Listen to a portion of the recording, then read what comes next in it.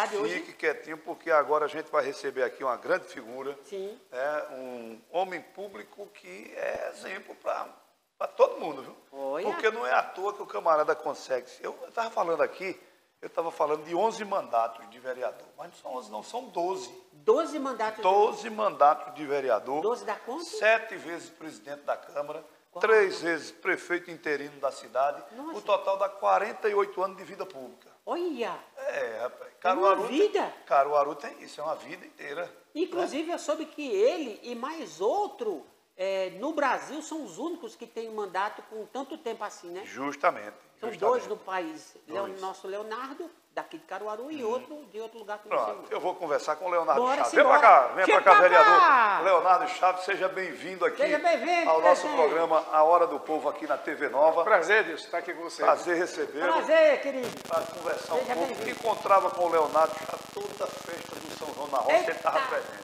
Mas Leonardo é assim, Leonardo é um público que está em todos os cantos. Inclusive, é, o prefeito esteve aqui, aí onde o senhor está, ele é bem maior. É bom porque ficou na altura do meu Peter, vovô. é, Fica quieto. É porque O que, é que tem a ele não ver? é O que, grande. é que tem a ver? O que, é que você está querendo dizer? É, não, que porque- o prefeito é grande demais, o Leonardo é pequenininho? é? Não, é porque ele ficou na Tem um sua... coração grande, viu? Não, é porque ele ficou na sua altura, que quando o senhor falava com o prefeito, o senhor olhava para cima o tempo todo. Deixa de hora. Misericórdia. Deixa de hora. Leonardo, muito boa tarde. Sim. Um prazer recebê-lo aqui, aqui na TV Nova para a gente falar exatamente dessa sua vida pública. E eu vou começar perguntando isso aqui. Ó, 12 mandatos de vereador, sete vezes presidente da Câmara Municipal, eh, três vezes prefeito interino, 48 anos de vida pública. A gente faz um comparativo até com o Liberato Costa Júnior lá na Quatro anos capital. como, como presidente do Central. Quatro anos como presidente do Central, não tem tempo para tudo. Qual é o segredo para essa longevidade toda, Leonardo? Boa tarde, seja bem-vindo. Boa tarde, Edilson. Que legal. Boa tarde aos ouvintes e, e às pessoas que nos assistem através da TV Nova. Parabenizar pelo excelente programa que você faz em Caruaru. É? E a primeira vez que eu estou vindo aqui, é um prazer enorme. Você falou em 48 anos de vida pública, eu vou dizer, botar mais três. Caramba. Porque eu tive três anos como secretário de Finanças do governo de João Lira Filho. Então, nós passamos de 50 anos de vida pública em nosso município. é? Então, é uma vida dedicada ao povo de Caruaru. Eu sempre tive esse cuidado, não é? E, às vezes, as pessoas me perguntam, mas rapaz, como é que você aguenta esse tempo todo? Eu digo, olha, para tudo que a gente faz na vida, para qualquer profissão, você tem que ter vocação. Se não tiver, não vá, porque se perde no meio do caminho. É verdade. E aí eu lhe pergunto, há 48 anos, com- com mais três que você falou, eu, eu sei da sua história, você entrou na Câmara Municipal como serviços gerais, né? Para varrer a Câmara, Nossa, lavar os banheiros e entregar a correspondência. Tá doido. Então, eu disse para mim mesmo quando cheguei lá, não é? Porque antes de eu chegar na Câmara de 7 horas da manhã para varrer a Câmara, lavar banheiro e entregar a correspondência, eu já vinha do curral das vacas do meu pai, limpando esterco de boi, carregando balai de palma na cabeça. Nossa. E quando eu cheguei lá, eu disse para mim mesmo, isso aqui é uma bolsa de estudo para mim. Aí eu fiz um curso de odontologia, eu fiz um curso de, eh, eh, de direito. Sete anos depois, como varredor da Câmara, eu já atingia o maior cargo da Câmara Municipal de Caruaru. Posteriormente, eu fui emprestado à prefeitura para exatamente ser eh, oficial de gabinete do secretário de Finanças na época do governo Anastácio Udri, que era Edson Barros Pereira. E depois me tornei secretário. Então, fiquei durante aquele tempo todinho. Fui para o projeto Rondon em Santa Catarina, numa cidade chama- chamada Anitta Garibal. E eh, voltei para Caruaru para preparar a documentação para voltar para lá. Eu ia ser o único dentista dessa cidade. Caramba. Não é? Ganhava, ia ganhar só de emprego três vezes mais do que o prefeito ganhava na época, João Lira Filho.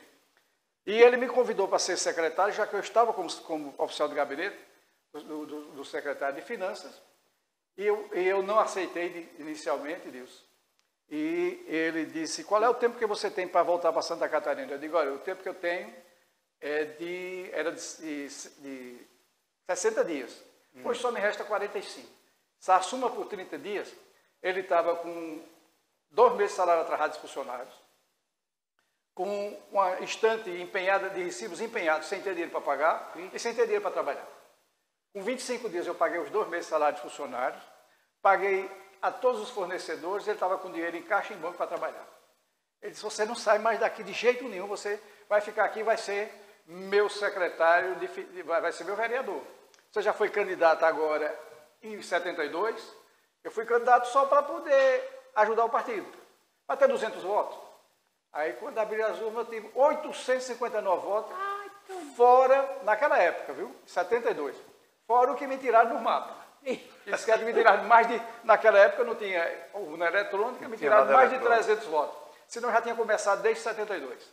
Ah, rapaz, Poxa. história de vida, viu? É história, história para contar, vida. menino. Leonardo, eu lhe pergunto, 48 anos de vereador, nunca pensou galgar um cargo mais alto, não? Vice-prefeito, disputar a prefeitura, deputado estadual, deputado federal.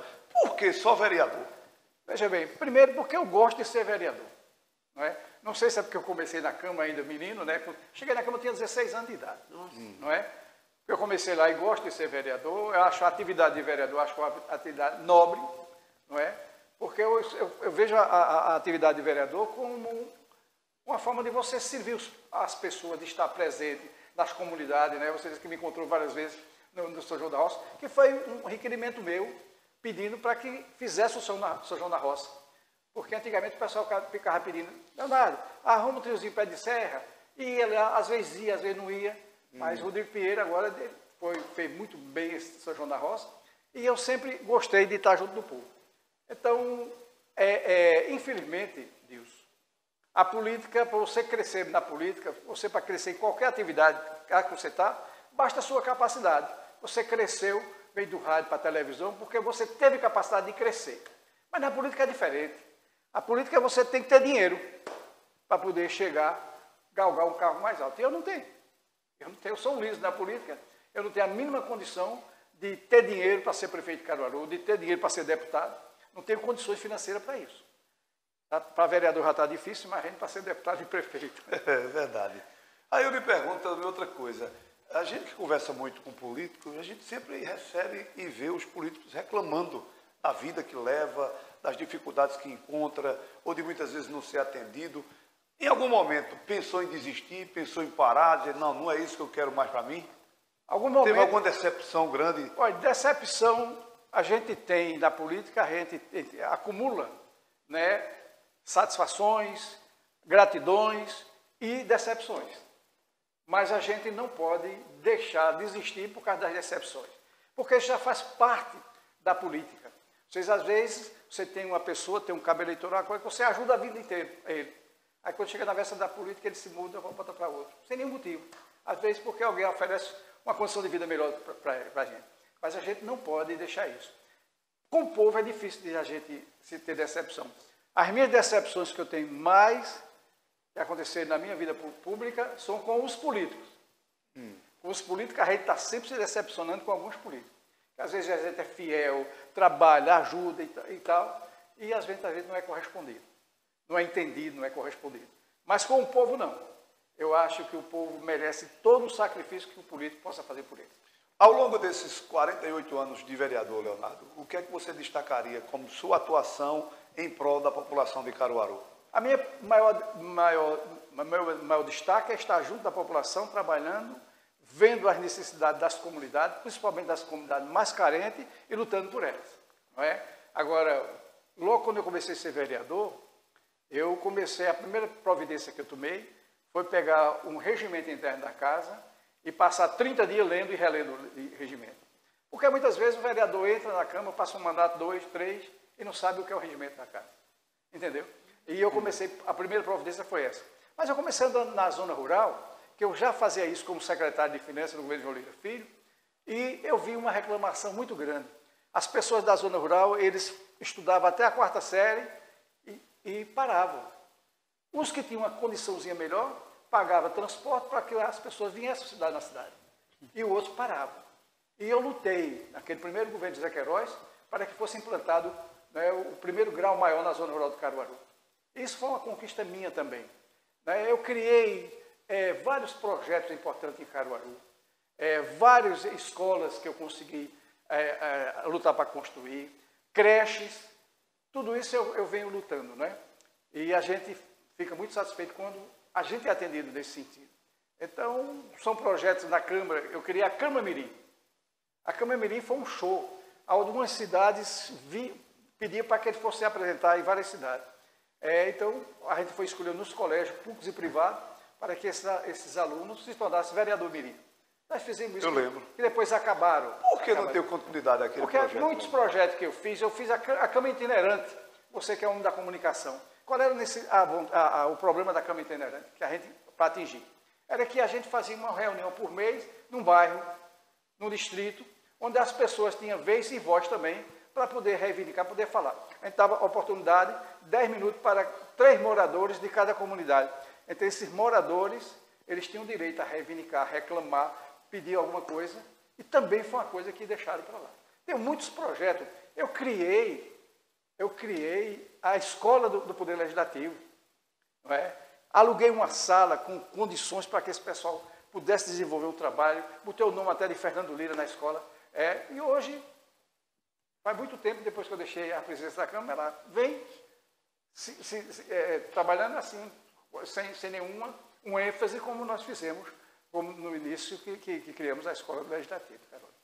Muito bem. O senhor viveu bons momentos na Câmara de Vereadores, mas também viveu momentos turbulentos. Eu vou citar dois aqui. Aquele episódio que dez vereadores terminaram sendo presos e a gente está vivendo um atual, uma vereadora sendo acusada eh, de rachadinha, de, de homicídio e tudo mais. Qual foi o mais complicado de todos esses momentos turbulentos que o senhor passou? Esse momento é muito ruim, não é? Agora o outro ainda foi pior, porque esse aqui atingiu uma, uma vereadora. No outro atingiu dez vereadores. Eu senti muita dificuldade para poder. O senhor era o presidente na época, né? Era o presidente. Uhum. Eu sentia muita dificuldade. Por exemplo, eu tinha que pagar a 33 vereadores. Pagar os 23, não é, normais, os 10 que estavam afastados e os 10 que nós é, que, que, que assumiram no lugar dele. Uhum. Então eu pagava a 33 vereadores. Você imagina a mágica, o trabalho que eu tive para equacionar é, é, é, esse problema e poder ter condições de pagar todos. Eu tive que tirar as, assessoria dos vereadores que estavam fora para ajudar a pagar a, a, folha de pagamento dos 33 vereadores. Foi muito difícil porque era marchas e contra-marcha, eles iam para Recife, vinham com a decisão, depois tomava outra e tal.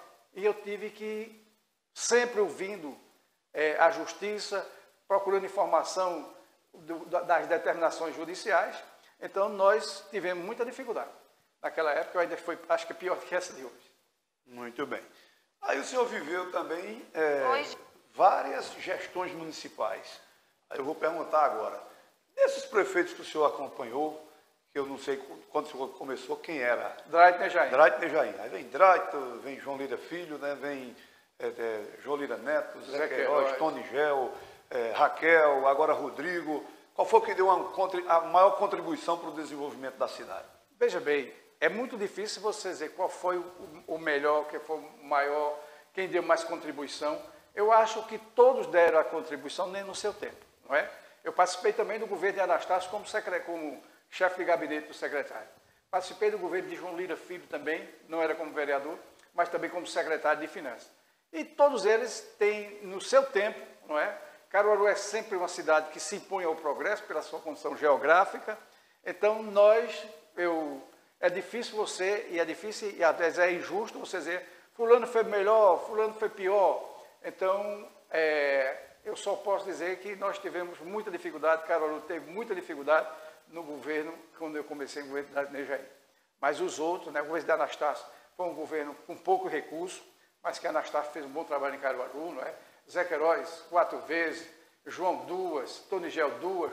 Então, são pessoas, e agora o Rodrigo Pinheiro, que está também dando um show de democracia, está né? Tá fazendo o trabalho, é, atendendo todo mundo, ouvindo as pessoas, cada um no seu tempo desenvolveu um bom trabalho em benefício da nossa cidade. Muito bem.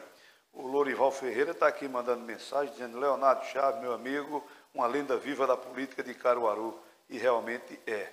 Aí eu te pergunto, Leonardo, que conselho você daria? Todo ano, ano que vem, ano de eleição, é, geralmente surgem inúmeros nomes pleiteando uma vaga na Câmara Municipal. O que, que você diria a essas pessoas que têm essa, essa ideia, esse propósito? Vale a pena? Você incentiva entrar, disputar, tentar chegar lá? Ou você diria, não vale a pena, é melhor você ficar onde está? Eu acho que vale a pena quando a pessoa, primeiro, ele tem vocação para o cargo.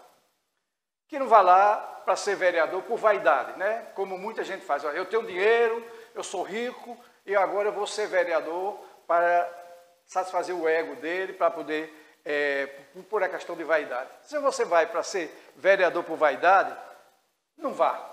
Agora, se você tem vocação, se você gosta da, da nossa cidade, da nossa querida capital do Agreste, e você quer servir a comunidade, então vá. Sabendo que quando a gente está fora, tudo é fácil. Tudo é fácil. Quando a gente chega lá como vereador, vê que na prática, a gente já disse que a teoria na prática é diferente. Então, a, a, não é fácil ser vereador, não é? Porque muita gente, é, é, pensa que o vereador pode tudo.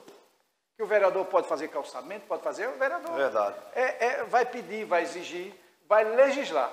Ele não é executa. Mestre, ele não é executor, ele não é mestre de obra, ele não é prefeito. Então a gente tem que estar pedindo ao executivo para que ele faça alguma coisa. Então, se você vai com esse intuito, sabendo das dificuldades que você vai encontrar. Porque, veja bem, tem muita gente que é vereador a primeira vez e não é mais. Por quê? Porque quando a pessoa está fora, diz, não, quando eu chegar lá eu vou fazer isso, isso, isso, aí, mil metas para conseguir. Quando chega lá, ele vê que não pode fazer tudo aquilo que ele imaginou, que ele traçou para poder, no mandato de vereador, se decepciona. E o povo se decepciona muito mais do que ele, que às vezes ele promete há muitas coisas ao povo que não vai cumprir. Que não vai cumprir. Que não vai cumprir. Verdade. Então tem que ter vocação. Se tiver vocação, vai em frente, enfrentar as dificuldades, ser vereador e servir a cidade. Se não tiver, é melhor ficar fora. Muito bem. Ano que vem, Leonardo vai para a reeleição ou especula-se, inclusive, aí na cidade, que você pode colocar seu filho como seu sucessor. Tem essa possibilidade? Tem, mas não agora. Não é? Ele está no Conselho Tutelar, está fazendo um belíssimo trabalho no Conselho Tutelar, o Hugo, não é? Ele tem vocação, tem vontade, mas ele ainda tem umas metas a cumprir, por exigência minha. Não é? ele, ele tem curso de Direito e eu estou exigindo algumas coisas dele. Eu acho que na próxima, nessa não, mas na outra, ele vai estar preparado para ser vereador em Caruaru. Valeu. Leonardo, muito obrigado pela presença, parabéns aí pelo eu, trabalho. Eu que, que agradeço a oportunidade de estar me dirigindo ao povo da nossa querida capital do Agreste. Muito bem. Está aqui então o nosso Leonardo um Chaves, rapaz. Presidente, decano, aquele abraço, sucesso. Decano vereador aqui de Caruaru, é. né? Como a gente diz aqui, 12 mandatos, meu amigo, é muito Não é tempo. pouco não, menino. Não é pouco não, é hein. Valeu, Léo, muito obrigado pela presença. Muito obrigado, Leonardo querido. Chaves, rapaz. Leonardo é. Chaves, é.